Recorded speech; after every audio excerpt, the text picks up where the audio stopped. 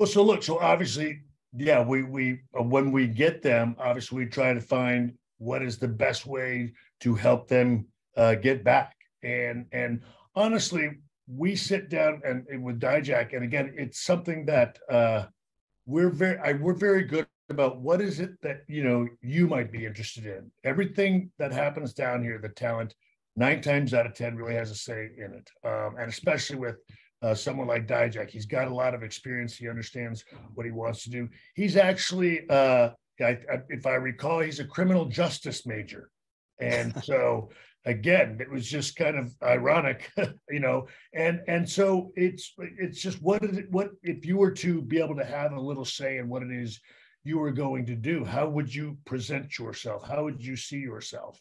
Um, and look, this is this is uh, what you know what it what it resulted in is, is the, the, character that you have now. And again, I think he has been thriving. I don't think anybody would doubt his ability um, because he's an unbelievably talented dude. Especially, and I always always hate to say especially for his size, but it's hard not to you know it's hard not to yeah. to say that. It's just amazing some of the stuff he can do uh, at his size. Um, but again, we've also I think, put him in really good situations, and he has thrived in every one of them.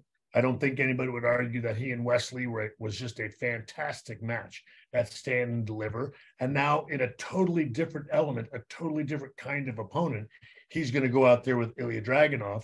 And again, I think he has every opportunity again to show anyone and that would be you know main roster eyes included that you can put him with anybody and he's going to be a guy that can deliver.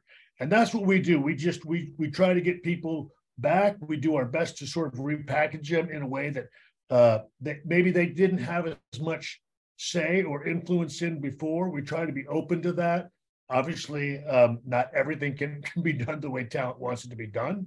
Um but at the same time do our best to put them in opportunities that are going to help them thrive especially when there is again you know so much talent there. Um, and, and i don't think I, I i am never quite honestly i'm never in that much of a disagreement with i think you the you know you the fan base and even the town sometimes they don't feel like they were given the best opportunity and a lot of times look it's it's it's a great opportunity at the moment but if it isn't done correctly or something, one thing can miss. And it's hard, it's very tough to dig yourself out of that hole sometimes. You know what I mean? And we're always sympathetic of that. And and look, it's a chance to go back and try to rebuild and give them another shot. And I'm I, am i am pretty proud of some of the you know some of the results that we've had here in NXT, whether it's Finn Balor, whether it's Apollo, and and of course I, I don't think it's going to be long before Dijak uh, is back as well. So, uh, but I think you know, along with you, everybody knows that he and Ilja is going to be,